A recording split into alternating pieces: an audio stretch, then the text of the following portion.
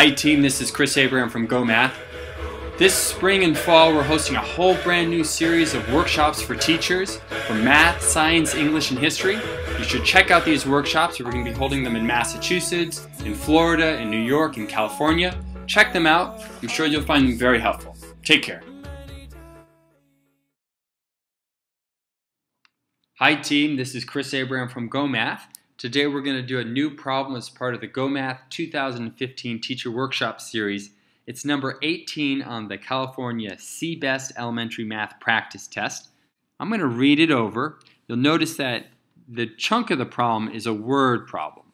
So we have a number sense word problem.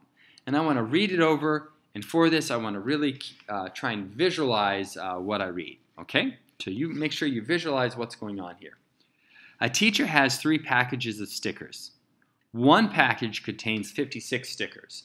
Another package contains 48 stickers. And the third package contains 58 stickers. If the teacher divides all the stickers equally among 27 students, how many stickers will each student receive? And then we have options. Now take a moment, before we go on, take a moment and try and identify the central image in this problem what's the, the, main, the main image that is repeated over and over again? Usually I think of this as the word, the noun, that appears more than any other noun in the passage. What do you get?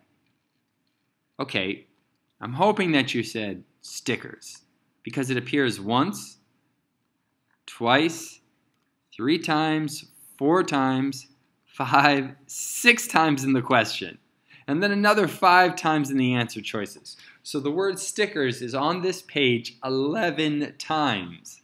This is our central image.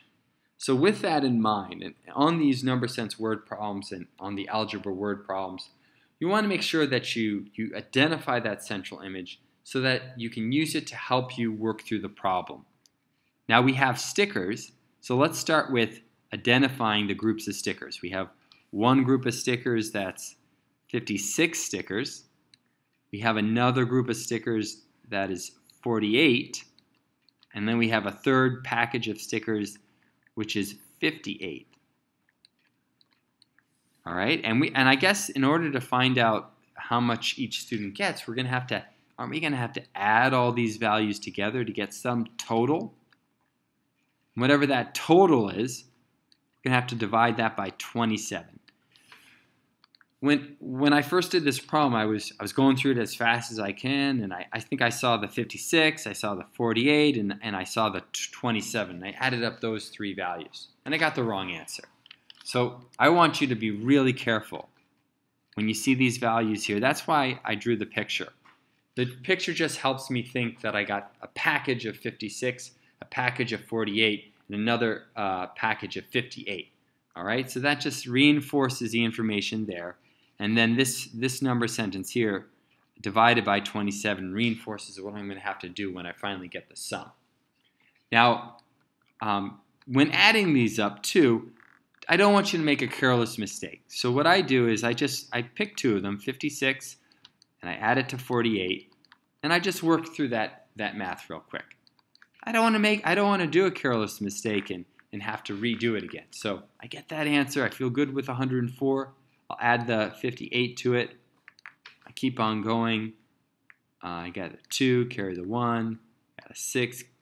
I got 162 stickers divided by 27 stickers. 162 divided by 27. Now looking at this answer choice here, just a, a quick, a real quick approximation. If I, I just were to eyeball this super quickly, and be like, this if this was 150 and this was 25, then my answer would be approximately, you know, uh, six stickers. What, what a quick approximation does is it, it confirms that the answer choice has to be within this region here. Somewhere possibly in this region here. I did it real quickly, so, so I'm going to have to go back, but, but it allows me to, with confidence, eliminate these other options.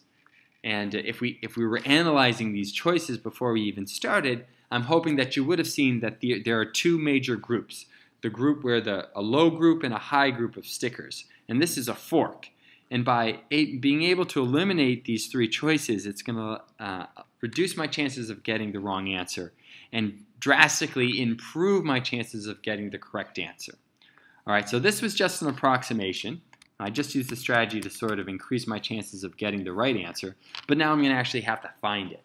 So we're going to have to do 162 divided by 27. And when you do this, you want to take your time. I'm going to start with the 6 and see if it goes in 6 times. So I'll put a 6 here. I want to see if it goes in approximately 6 times. Let's see. 6 times tw uh, 27 is uh, 42, so I put the 2 here, carry the 4. 6 times 2 is 12, plus the 4 is 100 is 16. Look at that. It goes in exactly 6 times. So my approximation was right on. All right, team, this is Chris Abraham from GOHmath. I hope you liked this video. Stay tuned for some more. Take care. Bye-bye.